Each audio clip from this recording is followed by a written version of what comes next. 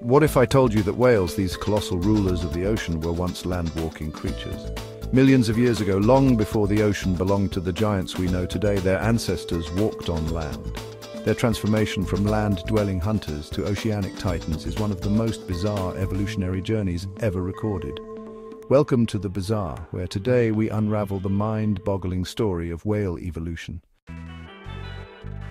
Our story begins around 50 million years ago with Pakicetus, the earliest known ancestor of modern whales. Looking more like a dog than a sea creature, this strange mammal had features that hinted at its aquatic future. Eyes positioned high on its skull, perfect for peering above the water while stalking prey. It had strong legs for running. Fossils reveal that its ear bones share distinct features with modern whales, an evolutionary breadcrumb connecting land mammals to ocean giants. Unlike today's whales, Pakicetus had fur and lived in shallow freshwater streams. Scientists believe Pakicetus waded into rivers to hunt, taking the first steps toward an aquatic life. Pakicetus had sharp teeth, indicating it was likely a carnivore that fed on fish and small animals along riverbanks. Fast forward a few million years and evolution has crafted Ambulocetus, also known as the walking whale. This bizarre beast had short, powerful legs and a long, flexible spine, allowing it to swim with undulating movements and had crocodile-like with webbed feet. It hunted by ambushing prey in water, using its powerful jaws to snatch fish and possibly small land animals. Scientists believe it could both walk on land and hunt in the water, making it a true amphibious predator, and it swam by moving its spine up and down, a motion still seen in modern whales. Ambulocetus was about 10 feet or 3 meters long.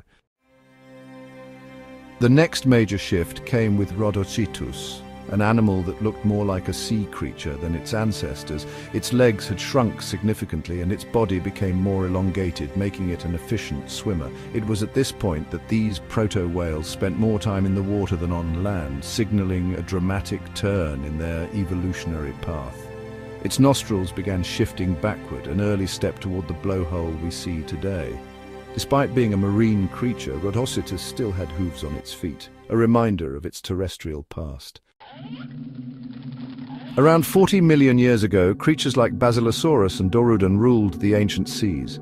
These fully aquatic species had nearly lost their hind limbs, but tiny vestigial legs still remained, an eerie reminder of their land-dwelling ancestors. Basilosaurus was a monstrous predator growing up to 60 feet long, dominating the ancient oceans with its powerful jaws. It hunted sharks and other marine life.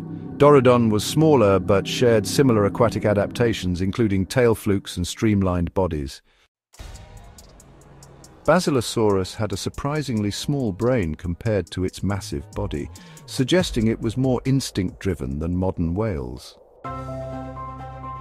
Fossils show Dorudon calves were likely preyed upon by adult Basilosaurus, revealing a strange predator-prey relationship within early whale species. Basilosaurus bones are so dense they were once mistaken for a sea serpent, adding to its mysterious reputation. Fast forward to today, and the descendants of these ancient creatures have become the largest animals to ever exist. But the bizarre story doesn't end here. Hidden deep within the bodies of modern whales are remnants of their past, tiny, useless pelvic bones, a ghostly trace of their land-walking days. Some rare cases have even revealed whales born with small external hind limbs, a chilling echo of their evolutionary history. What other animals might have more bizarre evolutionary secrets hidden beneath the surface? Let us know in the comments. The mystery of evolution. Why did whales return to water? Scientists believe factors like abundant marine food, climate shifts and predator avoidance drove whales back to the sea. The transition is one of nature's strangest evolutionary twists, highlighting life's adaptability. From four-legged land mammals to the ocean's most awe-inspiring giants, the story of whale evolution is stranger than fiction.